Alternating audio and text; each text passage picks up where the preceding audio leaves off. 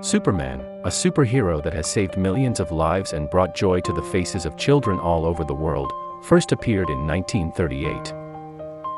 The Man of Steel was created by American writer Jerry Siegel and Canadian artist Joe Shuster, who made his first appearance in DC Comics Action Comics series issue number 1 which sold for 10 cents.